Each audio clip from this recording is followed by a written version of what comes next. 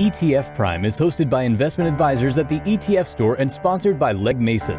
Legg Mason's sponsorship is not an endorsement nor a recommendation for any product or service. Legg Mason Investor Services LLC is not affiliated with the ETF store, ETF.com, or any of its affiliates. The ETF store is not affiliated with ETF.com or any of its affiliates. ETF.com's participation in this program should not be construed as an endorsement or an indication by ETF.com of the value of any ETF store product or service. This program is for informational purposes only and does not constitute investment advice. All investing involves risk, including the potential loss of principal. Past performance is no guarantee of future results. The ETF store owns and is responsible for all program content. Visit ETFstore.com for more information. Legg Mason is a leading global investment company committed to helping clients reach their financial goals through long term actively managed strategies. Legg Mason offers a broad range of equity, fixed income, alternative, and cash strategies worldwide. It is comprised of a diverse family of specialized investment managers, each with their own independent approach to research and analysis, and has over a century of experience in identifying opportunities and delivering astute investment solutions to clients. To learn more, please visit leggmason.com.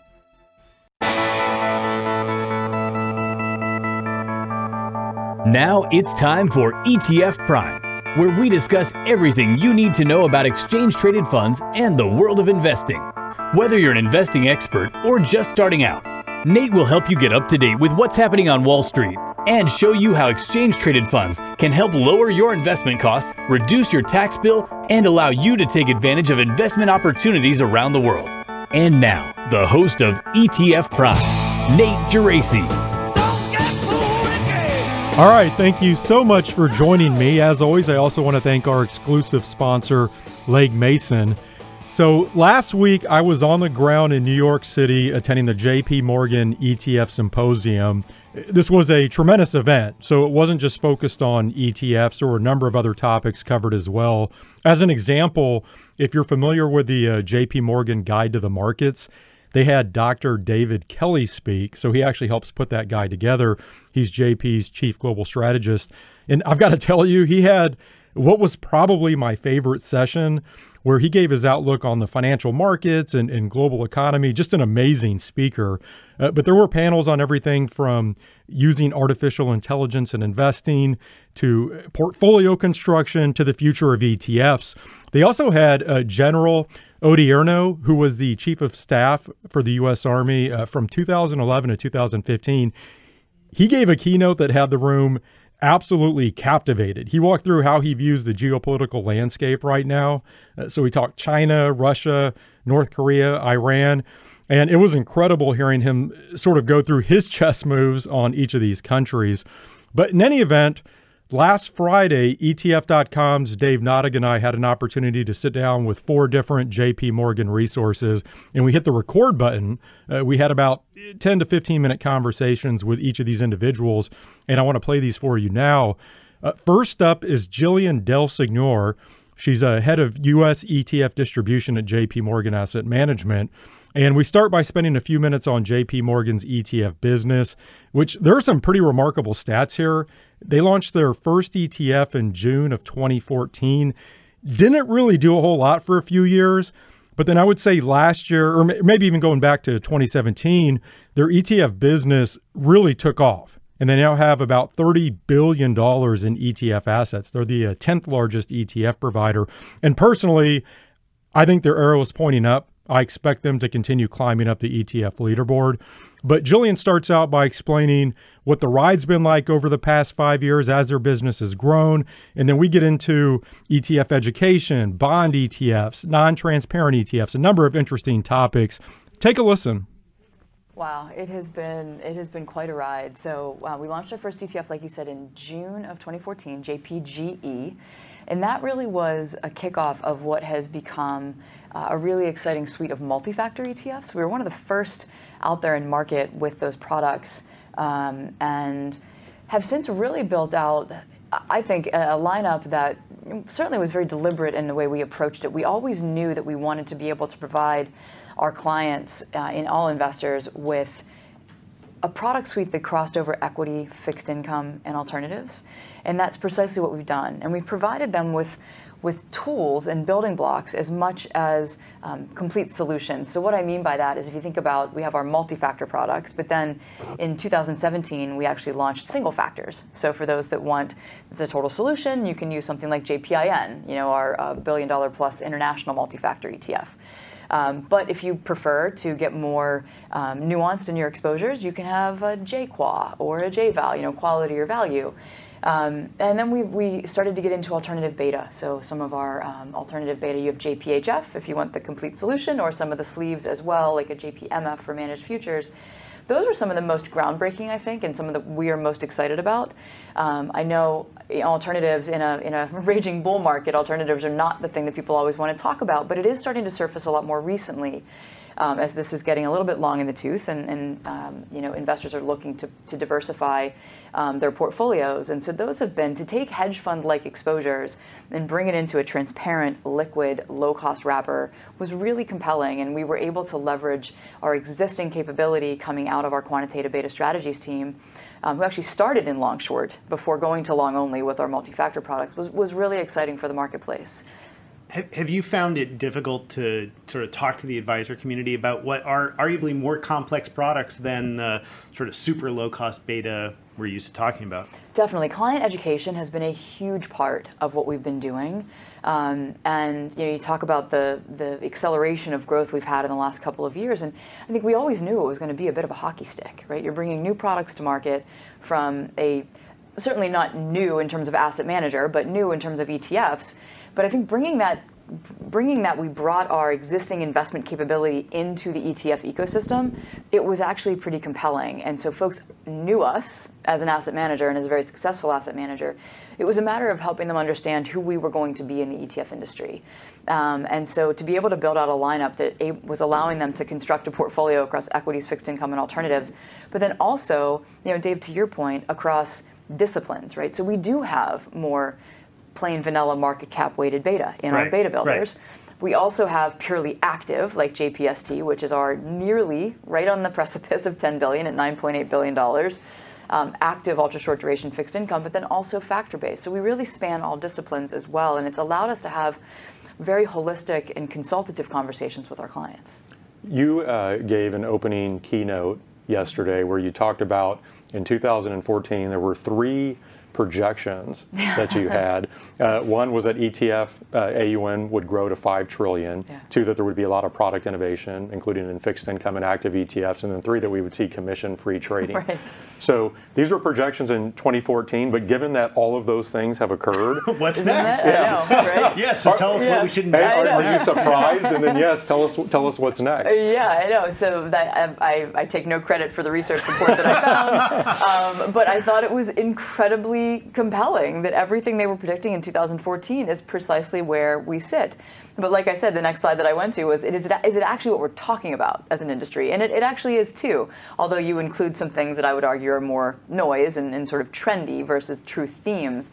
But as I think about fixed income, you know, fixed income ETFs have fundamentally changed the way we invest in fixed income today. For sure, for sure. And yeah. I, I, think we're still on the front end of it. You know, this one of the stats I had was that there's 87 billion dollars in active um, ETF assets today.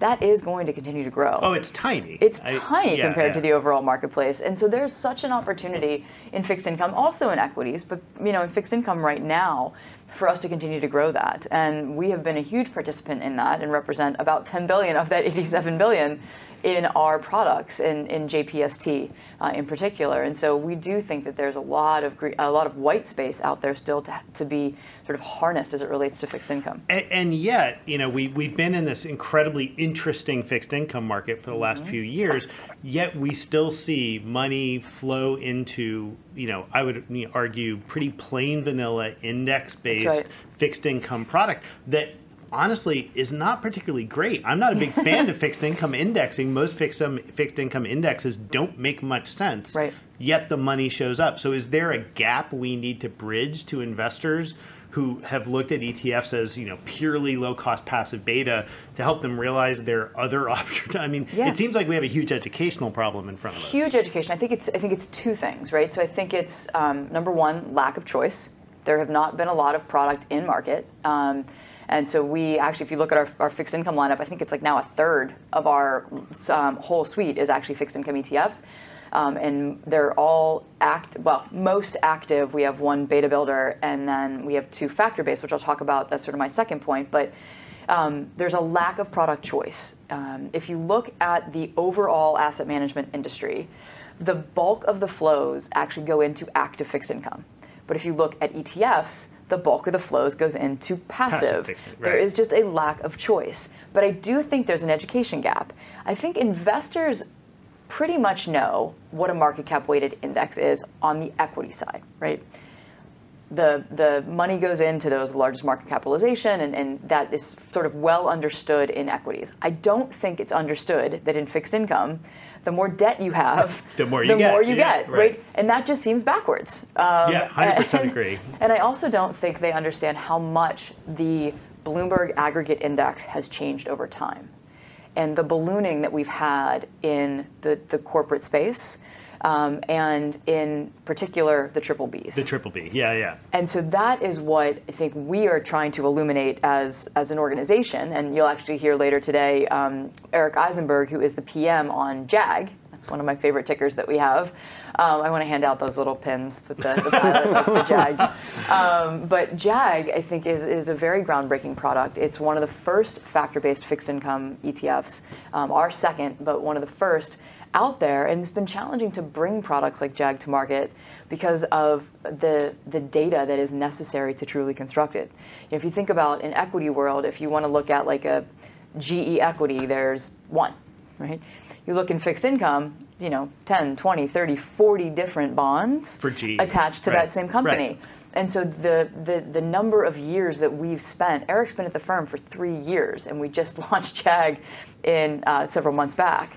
So I think that there, this is just the front end of that, but helping investors understand not only what a, a market cap weighted fixed income index is and how it uh, different, and then also how the ag has changed is a really core component of what we're focused on right now. Well, I, I also I continue to think that the ag may be sort of the worst thing the industry's ever foisted on the investing public because you know at least things like you know the big stalwart indexes people follow are things like the S and P 500, Right. Right, a completely logical way of approaching the investment Yeah. problem. The ag makes no sense. I mean, as you point, it's got the deadbeat uncle problem, which is you're giving more money to the person Right. most likely to never give it back Yeah. to you, right? The most indebted person. Uh, but at the same time, it's it's also kind of random. Like what's in there is just sort of there's no particular reason why you've got this much exposure Right. to financials in there or this much exposure to treasuries and Mm-hmm. you're cutting off whole other parts of the bond market that you know just don't exist in the ag so i mean i, I feel like there's a, a huge gap but at the same time you know you point out the sort of ge problem right you've got 30 40 probably it's probably more like Mm-hmm. More hundreds of, yeah. of GE bonds out there, some of which will never trade again, right? They're held by insurance companies, they're going to sit there forever. So it's just a different kind of market. So it's not just that there are 100 GE bonds out there, it's that some of them are inaccessible, which you would never think about in the equity space, right? I, I think what's happened is there's been such a focus on passive management on the equity side of the equation, and we've all seen the numbers, and it has been challenging for active management to generate outperformance. I think investors have automatically made that assumption on the They fixed just assume income it side. works for bonds. They That's just. Yeah. assume it works for bonds, and, and that's why we've seen that. Definitely. And in fixed income, actually, active managers have had a much better track record of outperformance. And you know, the ag is one of those things that um, it's changed so much over time, and folks have used fixed income, core fixed income, as that ballast in a portfolio. But it's changed so much. We're finding in our conversations, they're starting to be more willing, once they understand the things that we're talking about, to start to look outside of that. But we also recognize that with launching JAG, we are asking someone to remove a core of their portfolio. Right. So the way we constructed it was actually to duration and sector match it back to the Bloomberg Aggregate Index and just take a value, quality, and momentum screen to the corporate sector. So to use a much more thoughtful approach to selecting bonds, which we would argue there is no more important time than now, given the fact that it's so ballooned and is the highest it's been in 35 years. Yeah, and we have in hu- triple Bs. Right, we have huge, huge balloon in the bottom of the investment grade. Yes. But at the same time, we're in the middle of a corporate earnings recession that nobody's talking about, and that's kind of a bad thing to have those two things right. at the same time. Yeah, and so for you know we were we were very front-footed with putting JAG out there and recognizing like we are trying to solve for the problems that frankly some investors don't even know about, but that we want to educate on. And do it for seven basis points because again, this is a core part of someone's fixed income portfolio. If we're asking them to fundamentally kind of replace what they're doing, want to be able to do it in a way that doesn't include huge tracking error or a huge expense. Yeah, you can't compete for low cost beta if you're not competing against low cost beta. Right, yeah. Jillian, I want to pivot the conversation to the equity side. Sure. And uh, you mentioned there being a lack of product choice, and obviously JP Morgan is working to try to fill that gap. You want to solve client problems. A hot topic right now is non-transparent ETF. So Precidian has active shares. Um, I, I'm curious just to get your thoughts. There's been a lot of debate as to whether or not those products can gain traction, uh, whether or not they solve an asset manager's problem or solve an investor's problem. What are your thoughts on that? You know, I'm, I'm excited. You know, again, transparent or not, I think active equity is a space that we have an opportunity to continue to fill um, the, the gap in product in, in the ETF world. Because we think about the landscape, you have investors that have really valued active management um, across equities and fixed income, and also we're starting to understand and appreciate the efficacy of the ETF wrapper.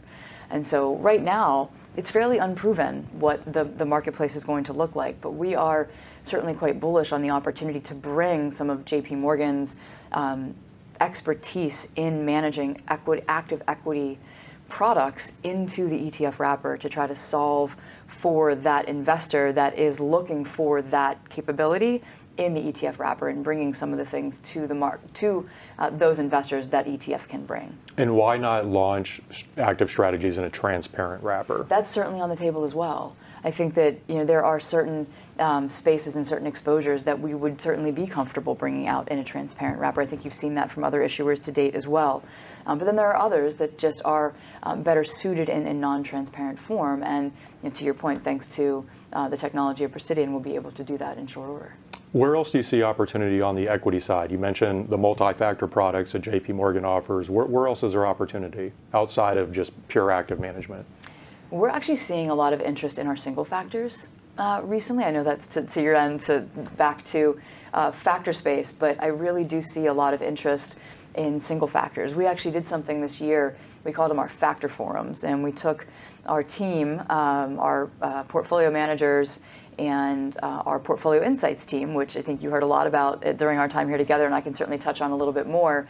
Um, we took it on the road. We took that show on the road. We went to 11 different cities and talked about not I think we've really graduated from what is a factor. At least I hope we have. We as JP Morgan certainly have. Um, and more, how do you implement, right? How to factor port, how to factor ETFs fit in a portfolio. And so that was the crux of this conversation. And we were able to introduce in a meaningful way a lot of our single factor products, as well as JAG. So we're seeing a lot of interest in quality uh, ETFs right now. Um, and we've helped a lot of clients identify their lack of quality in their portfolios, unbeknownst to them in most cases, through portfolio insights, through these model analyses that we've been doing. Do you, do you worry that the I, I, we've certainly seen this in flows, right? If you look this year, we've seen huge flows into Minvol. We've now seen flows coming out of Momentum. I think one thing I worry about is that factors are just the latest way that folks that really want to be active are just timing the market in a different way. And that, that makes me a little concerned because you can mm-hmm. get just as burned chasing factors as you could chasing sectors or chasing individual stocks Yep. unless you have like some real grounded thesis behind why you're doing something. Yeah. Do you worry at all about that, that, that the factor products become just another way of trading? I think the factors are incredibly cyclical, and so we would be the first to say it's incredibly difficult to time them. And so when we're talking to folks about single factor, it's not necessarily as sort of a, a hot trade, if you will. It's much more as a, a core, if you will, in their equity portfolio that they're using to potentially, if you think about, if you do a diagnostic on a portfolio and you find that you're really overweighted to lower quality, can you input a quality ETF to help offset some of that? So we are the first to admit that timing factors is incredibly difficult, um, and we are having these conversations much more in the context of how do these fit more um, it, within the entirety of a portfolio. Because I'm with you. I mean, the flows into Minvol have certainly been ironically very volatile, um, right? And so, and have started to demonstrate characteristics Yeah. like momentum, Yeah, right? no, it's yeah. so absolutely, we, we've certainly been. If you look at where our flows are, it's certainly much more into quality. And for the contrarians, although I heard, I don't know if it was you, I forget who said it. Is it really a contrarian to be talking about investing in value right now? Right. Um, just given how long um, we've been talking about it, um, but we've actually seen some interest in those that are looking to potentially jump into value at this point as well. So, Jillian, I think we've talked about some things that'll certainly uh, play a major role in the ETF space moving forward. What else is on your radar? What has you excited about the future uh, of E ETFs? So there's a couple things that I think about. One, we've talked about, and it's fixed income. I think that despite the fact that we already have 300, I forget what the number was I said Yeah, yesterday, totally agree. 373 ETFs in market. There's so much white space out there. Totally agree, Um, so yeah. that's one I'm really excited about. Um, the other thing I'm excited about is um, model portfolios. So that's something we'll be talking about today. I think as you look at the landscape, there are um, a lot of advisors out there that are looking to um, asset managers like JP Morgan and others to help them construct portfolios. You know, we're, have a panel later today, and as we were doing some prep for it, one of the panelists said something I thought was really interesting, and he said that he was equating the model portfolios to ETFs 10 years ago, where there was a set of uh, um, investors that looked at ETFs as a threat to their business. And it took some time before they realized, no, actually, they add a lot of efficiency to my business and actually help me scale um, and bring in more clients. And so that's, I think, where we kind of sit with model portfolios. There's a set of folks that look at them and they say, no, no, no, I do that, right? And not thinking about the fact they can actually help you scale your business in a meaningful way and probably touch a set of clients that maybe you were turning away in the past. So we've focused a lot of time on um, our model portfolio business, are continuing to lean into it um, within our multi-asset solutions capabilities, um, all ETF as well as some hybrid models across mutual funds and ETFs, and bringing that capability to our clients. Um, I think the, the, the, the change in the NTF platform certainly has opened up a lot of opportunity there as well as our clients are actually fundamentally rethinking their own models, right? Not necessarily looking to us to provide the model, but saying, all right, everything's now commission free. Right. I'm going to rethink the way I constructed my model. And so that's where our portfolio insights capability has walked into in the door. And so that's kind of my third exciting uh, push is like engaging our clients in complete model analyses as they rethink their allocations in light of this incredible change. But isn't there a really thin line between saying you're going to provide model portfolios, you're going to work with the advisor community to help them work with model portfolios, and crossing that next step towards like true robos, where you're saying, hey, there's a model portfolio, why not just put the client directly into that and take the advisor out of the equation? I've heard that fear from a lot of advisors. Absolutely, that's I'm sure that's a fear that they have. At JP Morgan, we are true believers in the incredible importance of the advisor in uh, the conversation. If you look at our um, our mutual fund business, our ETF business, our complete asset management business, we are focused on the advisor and have continued to build product and build solutions. Think about our guide to the markets, our portfolio insights, right? We actually put all of our resources into helping advisors have conversations with their clients about markets, about portfolios. So we are absolutely um, in, in a place where we believe that they play a really critical role in the engagement with clients. Well, Jillian, this has been a pleasure. Thank you for joining us today. Really appreciate it. Thank you both for being here. Thank you. So that was Jillian DelSignore, uh, who we've had on the podcast several times before, but I I really enjoyed catching up with her in person. Again, I think if you listen to her, it's easy to see why JP Morgan has such a bright ETF future. She's extremely uh, passionate about the business. Okay, next up we have Ben Mandel, research analyst, multi asset solutions at JP Morgan. And if you haven't seen this, JP Morgan just released their 2020 long term capital market assumptions. Highly encourage you uh, to track this down. Just an amazing amount of research where they put together projections on economic growth and how different asset classes might perform over the next 10 to 15 years. I found this to be a fascinating conversation because we all know how stocks have had a spectacular run over the past 10 years or so. Of course, bonds have had a tremendous run as well. But I think some investors are starting to become concerned over what that might mean moving forward, right? Are returns going to be lower because we've had such a great run? We get into all of that here with Ben. We also talk politics, trade war, central banks, the impact of technology. Again, really enjoy this. I think you will as well. Ben, thank you for joining us. Thank you for having me. Okay, so JP Morgan just released their 2020 long-term capital market assumptions, and this really lays out the key themes that JP Morgan sees impacting the economy, uh, and of course market returns over the next 10 to 15 years. First, can you just tell us a little bit about what goes into putting this together? Sure. Uh, I'll start by saying it's a firm-wide endeavor. Uh, so I'm, I'm part of a very broad uh, community of analysts who think about the macro environment and the specific asset class returns to help us project out into the future 10 to 15 years.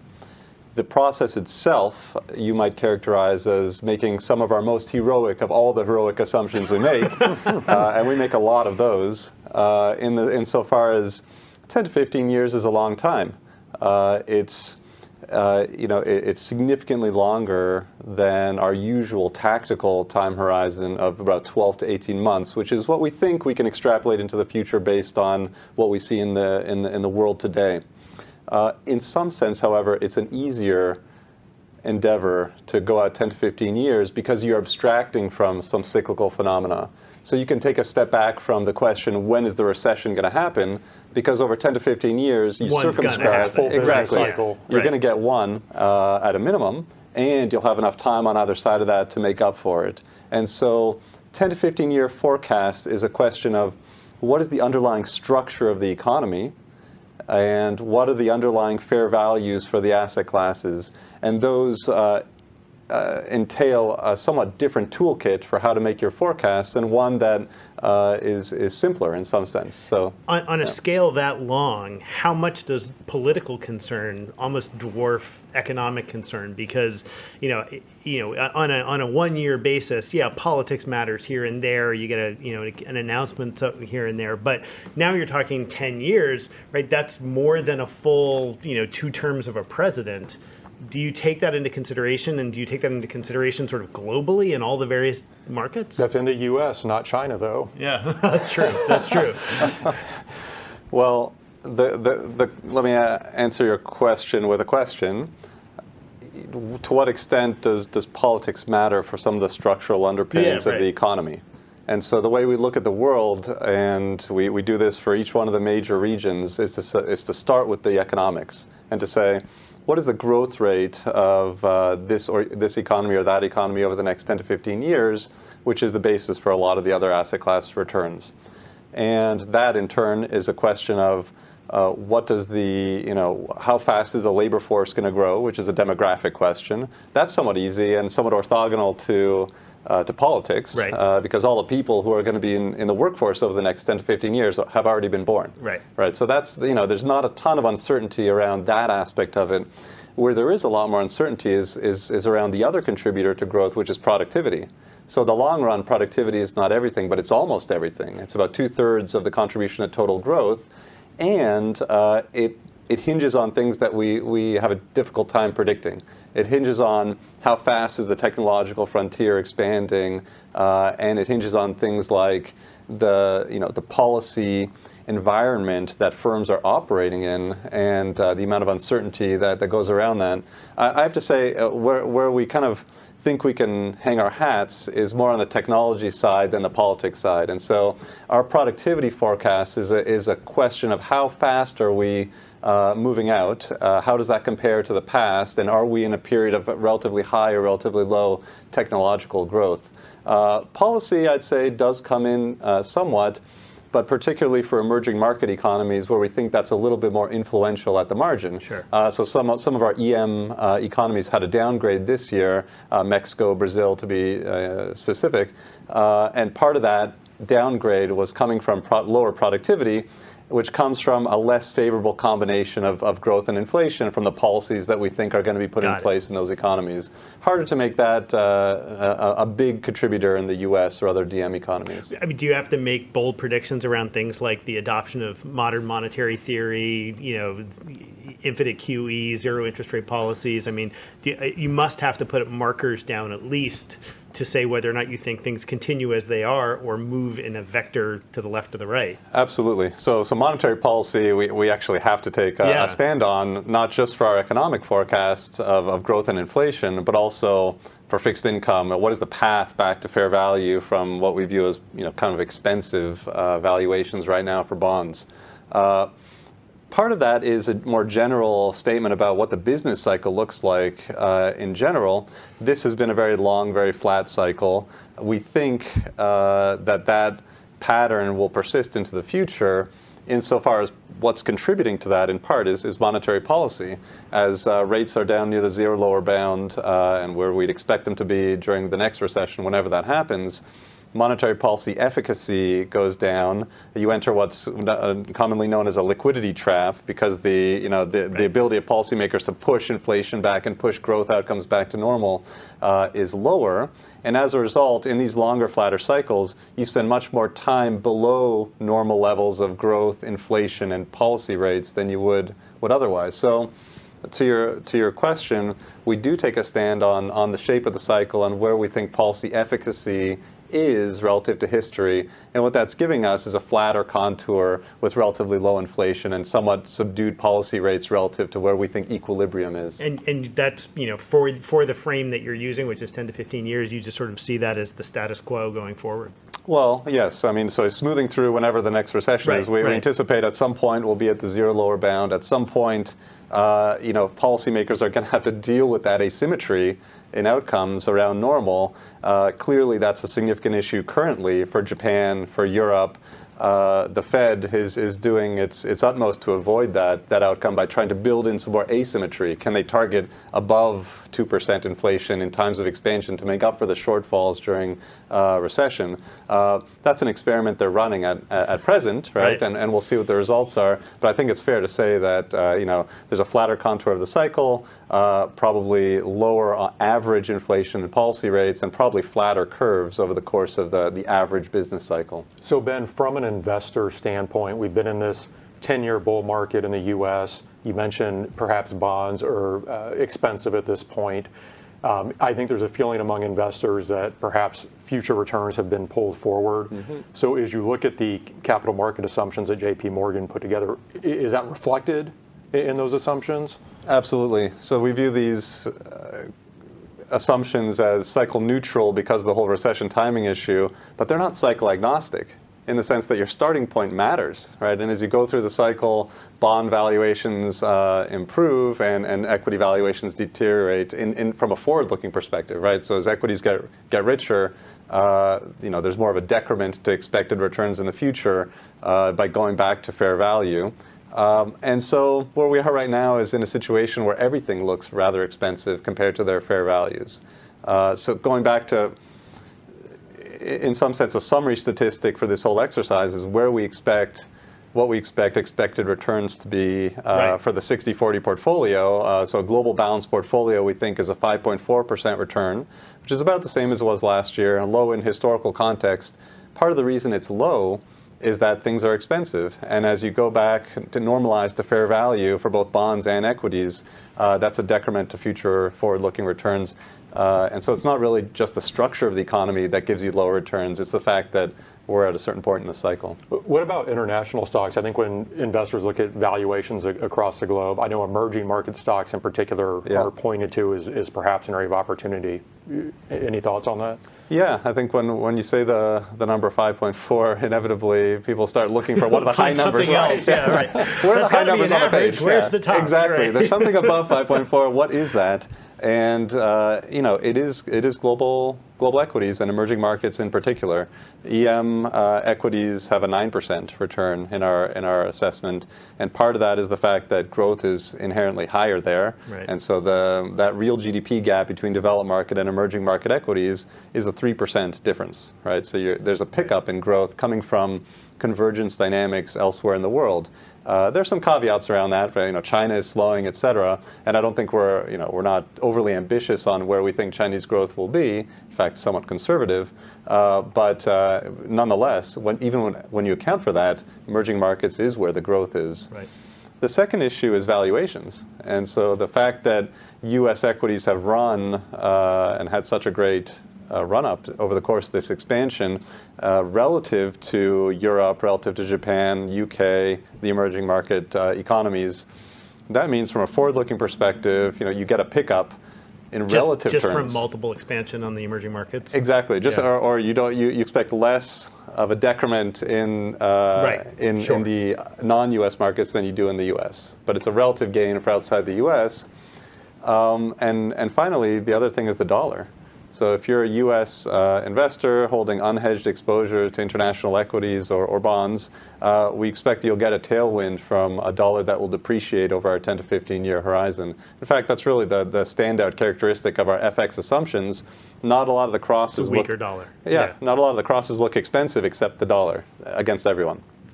Last question. I think we've done a good job on hitting all of the major uh, items at a high level. We talked about policy, we talked about central banks, we talked about technology. Is it correct that you are a professor of international trade? because I have to ask you about the trade war, uh, because that's obviously front and center with investors. Just any thoughts as we talk about emerging markets, you talk about China's growth. Yeah.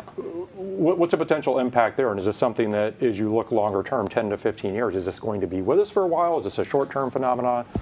Yeah, so the trade war is a symptom of a, of a broader strategic rivalry between the U.S. and China.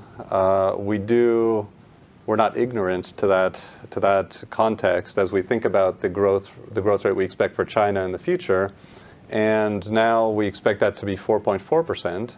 Part of that, actually, I'd say the majority of the downgrade from where we, you know, six percent currently, five percent in last year's assumptions, is that China has grown very quickly, and GDP per capita is passing through a point where it's no longer a, a, a, a you know low in, in, in the perspective of uh, broader development, and you'd expect it to slow down as other economies passing through similar thresholds have in the past. Uh, so part of it is that, but but you know, to be frank, part of it is that the external environment is less friendly than it was to those convergence dynamics that give you faster growth. And so I think uh, at the margin, you know, that that that plays a, a role in in some emerging market forecasts, and specifically specifically China. Uh, you know, we're, we're we're optimists at heart. I'd say, and I think that uh, the everyone has an interest, both politically and, and economically, to come to come to some arrangement. Uh, whether that is, is decreasing downside risk from you know potential tariffs potentially causing a recession or something like that, um, uh, or, or generating significant upside, we think it's more uh, avoiding the worst case scenarios here and uh, continuing a broader long-term strategic rivalry. Well, I love the idea of ending on a note of optimism. ben, thank you very much for joining us. Thank you very much. That was Ben Mandel. And I should have mentioned earlier the uh, 2020 long term capital market assumptions are available for free at am.jpmorgan.com. That's am.jpmorgan.com. You can also get the uh, guide to the markets that I mentioned at the top of the show as well. Okay, next, Dave and I sat down with Steve Kaplan, co head of global product strategy and head of portfolio insights at JP Morgan. So, his job is really to focus on portfolio construction, uh, helping advisors understand the strengths and weaknesses and opportunities within their portfolios. And I thought he was the perfect person to follow Ben because after hearing Ben describe the challenges investors might have in store moving forward, uh, that we could see a much lower return environment over the next 10 to 15 years, we were able to get Steve's thoughts on potential solutions to that, right? How does an investor get from a 5.4% return or whatever to where they actually need to be? And that's exactly where we start with Steve. So take a listen. Steve, great having you here. Thanks for having me. So I want to start. We just visited with Ben Mandel and uh, looked at the long-term capital market assumptions. And one thing that obviously clearly stood out to both Dave and I is the long-term projected return on a globally diversified portfolio of 5.4%.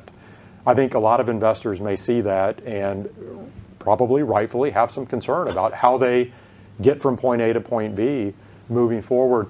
What, are some things that you think investors should be considering as they look at maybe a lower return environment moving forward? Yeah, we, we do spend a lot of time on this. There's a lot of conversations about resetting the expectations as, as we talk to advisors about their portfolios. The, the conversation, long term capital market assumptions, first of all, are a really important starting point in terms of the base of a portfolio. But that's just the starting point for beta, if you will.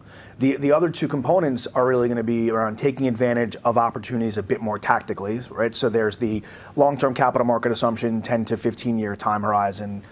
You know, our teams will look at tactical as more of a 12 to 18 month period where things will play out. You want to have both of those in your portfolio, and then ultimately, part of how you implement that in the underlying investments that you select Right. Things that are, you know, being fee conscious is obviously something that comes up a lot, but also having things that can generate more returns, more alpha in a portfolio. Those three things together are really what we're talking about in terms of bridging the gap from where capital market assumptions are versus where clients probably would like to be.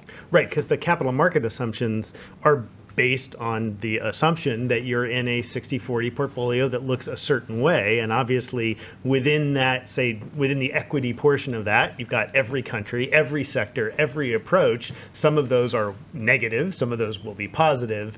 And so it sounds like your job is to sort of try to tease that down into something that's more actionable that gives people the hope that they're going to do better than 5.4% for the rest of their lives. Exactly. It's, yeah. it's really the conversation of what are you trying to achieve and then balancing the returns that you're trying to get with the risk that you are willing to take right. in the overall portfolio. I'm curious, you have a unique opportunity in that um, you can drill down and look into portfolios for all types of different advisors and investors.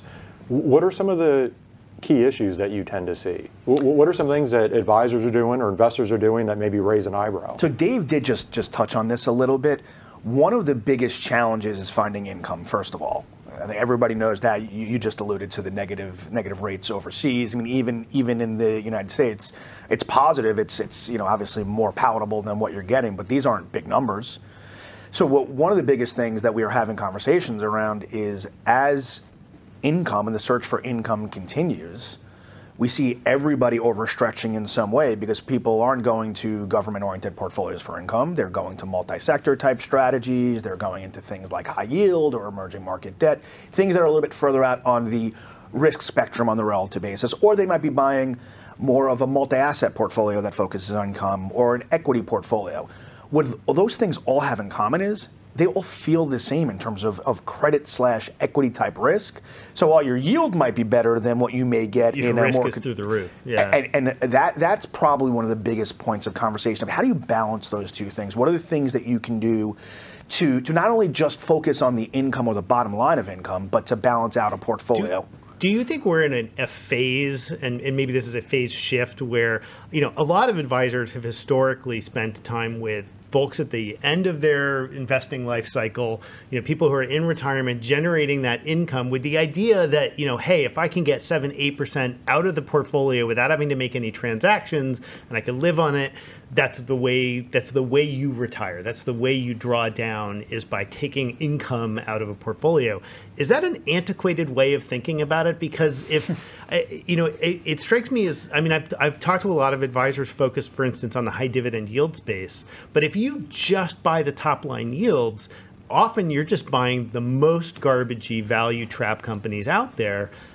Should we be just throwing income away and just be thinking about total returns at this point well, it, it's a really interesting question. I don't know about throwing income away, but what I but but I think where you're going is first of all, income is a massive part of total return in equities, sure. as as you're well aware, right? So there's there's that aspect, but I do think there's a little bit of diversify in a different way, because if you look, going back to the capital market assumptions as an example, there's there's a lot more of of open markets and access to things that the traditional client may not have had in the past.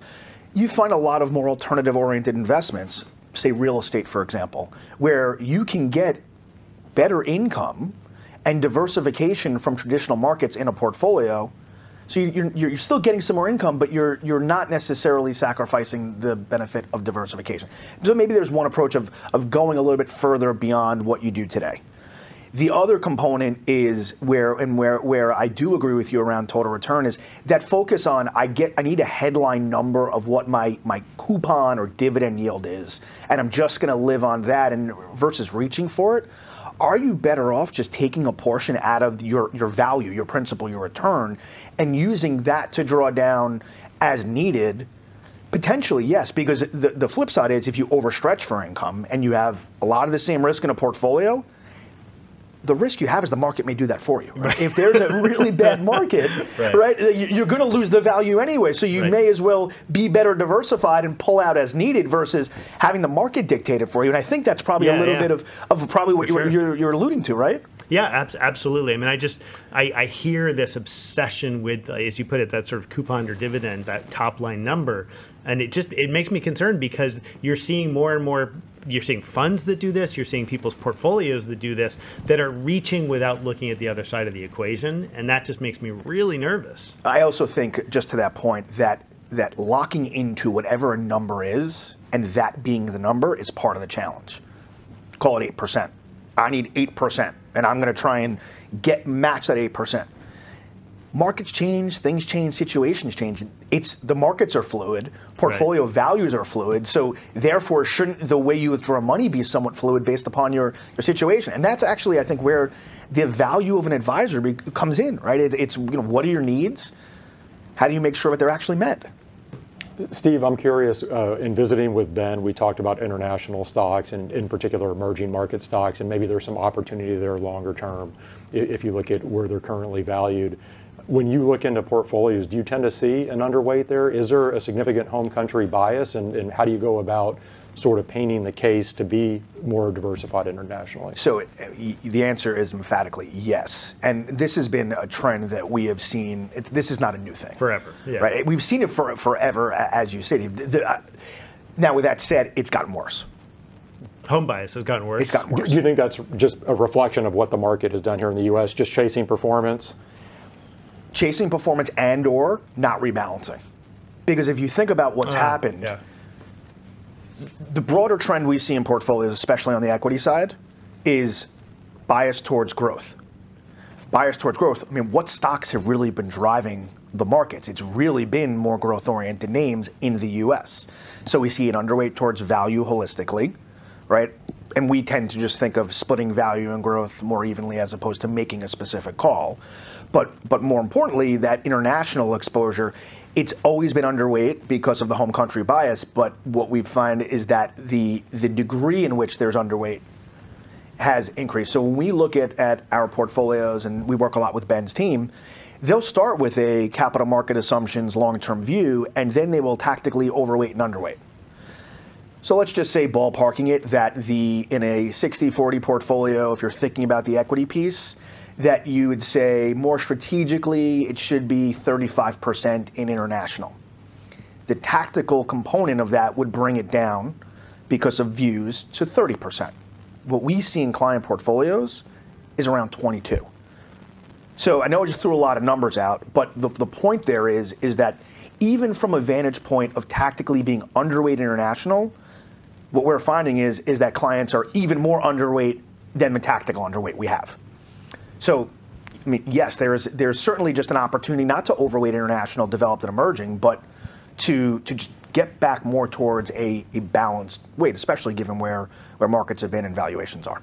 Last question, an area I want to make sure we touch on alternatives. So alternatives in a portfolio haven't really worked well over the past 10 years or so. Um, talk, talk about the use of alternatives in a portfolio.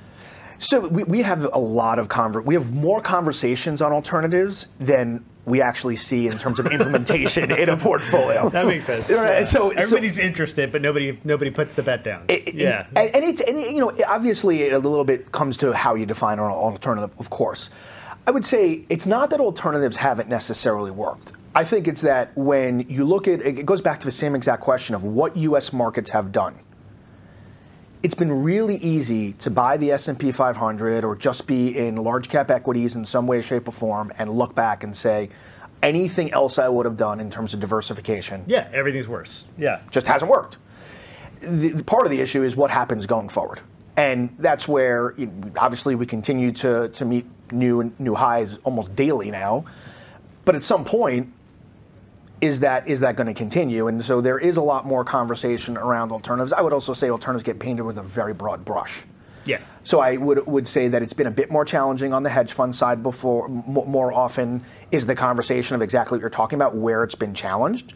Things above and beyond that, we talked about real estate as diversifiers, private real estate, private equity, private credit. I mean, that that actually I think has picked up a bit more in portfolios and has has actually worked a bit more in terms of when I say worked, I mean meeting meeting the expectations that were laid Right. out to clients.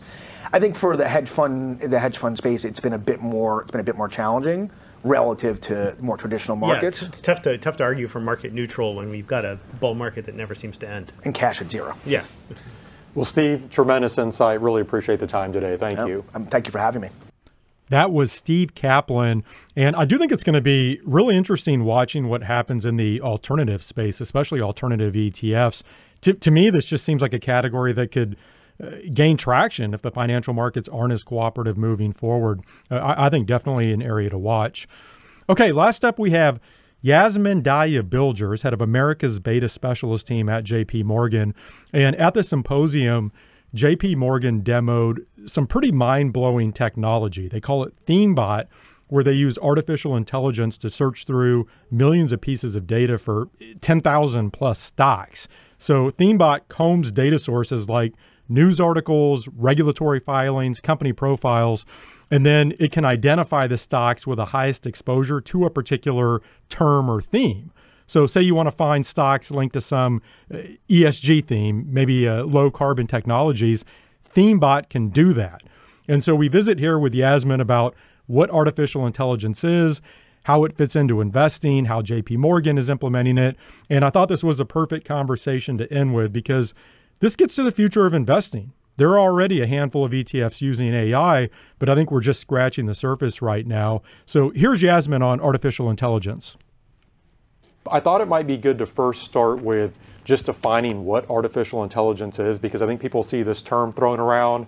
Uh, some people think of robots from the future, right? What you know, it's going to take over the planet. What is artificial intelligence? Yeah, that's absolutely the right place to start because, in fact, I think it's the terminology in this space that can really confuse people. So, there's really three th- three terms I think that are worth defining. The first is artificial intelligence, which for us is just an umbrella term that refers to really any technique in which a computer is mimicking human behavior when you actually double click into it, there's subcomponents, and one that often gets talked about is machine learning, and it's very relevant to the ThemeBot demo that we showed yesterday.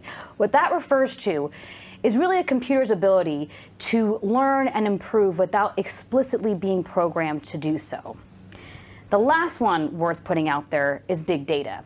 That is more of an input, and, and it's important to know that because what that refers to are large sets of structured and unstructured data that are often too big for any individual to actually analyze using traditional means, which lends itself to these new types of analytical techniques. It, seems like artificial intelligence is entering the conversation a lot more mm-hmm. now. Is there a driver behind that? Why? Why now? Why is this coming up in conversations, especially around investing?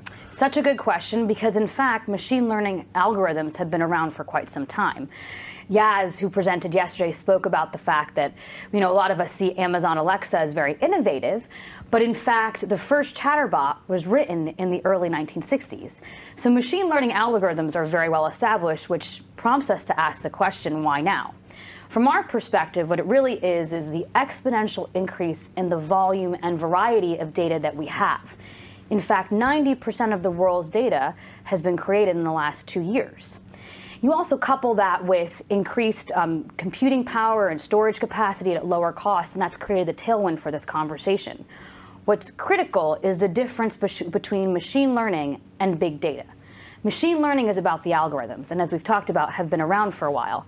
It's the rise of big data, which is actually one of the reasons why machine learning has become so useful now. It, I'm guessing you have to sort of combine the two, right? You need a lot of data in order for an algorithm to learn, right? Exactly. In fact, one of the themes we talked about yesterday was that it is precisely the rise of big data which has made the utility of these algorithms so much more useful for us. Well, I think just at a basic level, and th- this is obvious, it's too much data for a human or a team of humans to analyze. It, Correct. absolutely. It's, it's just too much. That's one of the, the applications we talk a lot about. ThemeBot that we demoed yesterday is about um, using a variety of, of sources of data, including news sources, company reports, broker reports, to help identify companies that exhibit certain themes, whether they be economic, demographic, environmental. If you think about the number of humans that would be needed to read all of those sources to identify companies, the increase in efficiency you get by using a technology like this that can very quickly scour all of those different um, sources of data and identify companies, you can start to understand why the application is so powerful. But but that's a new kind of data. Like historically, I mean, I came from quant over the last 25 years. You know, in the 90s when we talked about working with data, we were talking about you know time series returns, PEs, fundamental data that was already widely available sitting in databases somewhere. What you're talking about is much sloppier data, right? Analyst reports, annual reports, earnings announcements, press releases. That's that we I think a lot of people don't think of that as data. We think of that as just language, right? Words that people have to interpret. And so what you're talking about seems like a phase shift from data used to mean numbers in a spreadsheet, and now it can mean something as sloppy as an analyst report that's 20 pages long. That's exactly right. And in fact, it's this type of unstructured data, which is very powerful, but requires these types of techniques to really analyze. I think a good example of that that we spoke about yesterday was really if you think of value investing, obviously a very common topic right now and very top of mind for many investors. Um, what are you obviously doing? You're looking for companies that look attractive relative to their fundamentals. We now have more information or data that we can use to help refine our earnings estimates. For example, credit card spending data, footfall traffic, satellite imagery. And so, really, it's not about changing the practice of finding value companies, it's just in this example augmenting our ability to do so with the rise of these data sources. You know, your point about machine learning sort of replacing something that a human might do, you know, back in the, again, the 80s and 90s when we talked about sort of successful stock pickers, they would do things like do parking lot counts right? They'd actually send analysts out to see, you know, how many people showed up at a factory before 9 a.m. to try to get a, a, line on production or something like that. The Motley Fool did a lot of things like that. But you're talking about things like satellite imagery. Is that literally replacing things like, you know, the, the parking lot count at a manufacturing facility? Well, you know, we firmly believe humans are still very important in this process. It's just the role they're playing and, and the importance of actually, in fact, subject matter experts goes up very high when you think about this type of investing. So, the way in which we're applying these techniques with our, within our investment teams, it's about using these technologies to create scale and efficiency for our portfolio managers, not replacing our portfolio managers. The value example is a, is a, is a good one. We fundamentally are factor based investors. That first and foremost is around research. The, the role of a researcher is still critically important. It's just making their jobs more efficient. So are they the ones determining what to ask the question about in the first place, and then the machine learning sort of helps them get the answer? Absolutely. I mean, make no mistake, the, the way in which you ask the question matters quite a lot. And so the role of a human is critically important. In fact, we spoke about yesterday the premium or importance of subject matter experts within this space. But just to be clear, and Dave will laugh because I always run this thread through just about every conversation we have. I bring up the active versus passive, and you, you were touching on this, but do you envision artificial intelligence replacing active managers down the line? Does it complement what an active manager does? How does it fit just into the investment process? I see it as a very great complement. Um, you know, there, if I think of the use cases for it, a couple of the ones we're using it right now for. Um, one, I mentioned augmenting strategies. That word augmenting is, is used intentionally, where the role of a portfolio manager is still critically important. It's just using or harnessing different data sources to make what they do even better. Um, risk management is also an important one. So again, portfolio managers are still front and center in defining what it is we're trying to get exposure to, uh, but we're using these technologies to help limit unintended risks in the portfolio. For example, I think a really interesting one that brings it to life is if you think about two companies, um, if you're trying to get quality exposure, for example, they could show the same exact quality metrics. But in fact, one company could be a rumored takeover target. Mm. Why is that important? Well, it's subject to event risk. If a takeover actually happens, it could jump in price. If it doesn't happen, it could fall in price. It's got binary risk to it. You can use these types of techniques to, to remove companies that are high takeover targets from your universe. Why is that important? You're still getting exposure to the thing that a, you're hoping to get exposure to, high quality, without introducing that type of risk. But to your point, somebody has to tell the model that we don't want high takeover risk targets. Mm-hmm. And someone has to tell yeah. the model that we're looking for quality. There's um, still an importance of the role of a portfolio manager, not just to define the investment parameters, but also in the actual application of the technology itself. Well, a fascinating area. I just hope I have a job in five or 10 years. Yasmin, thank you very much for joining us. Thanks for having it. me. That was Yasmin Dahya-Bilgers on artificial intelligence and investing it really is remarkable how fast this space is evolving. I think Yasmin gave you a flavor for it there. And that stat she gave that 90% of the world's data has been produced in the past two years. I, think that shows you why artificial intelligence is needed. It's just not possible for humans to process that amount of data. And I have no doubt this is going to be a topic we spend a lot more time on moving forward. Really interesting stuff here. That'll do it for this week's ETF Prime. I want to thank our exclusive sponsor, Legg Mason. You can visit leggmason.com to learn more about their broad range of investment strategies. If you enjoyed this week's podcast, we would greatly appreciate if you could drop us a quick review wherever you listen to podcasts. That helps other listeners find the show. You can also send us comments on Twitter at ETF Prime. Next week, I'll be joined by Sarah Schellberg, head of U.S. iShares Sustainable ETFs. We're going to visit about the future of sustainable investing and take a look at the iShares Sustainable Core ETF lineup. And then Sean Brown, CEO of YCharts, will discuss the importance of ETF due diligence, making sure you do the proper homework before investing in ETFs. Until then, have a great week, everyone.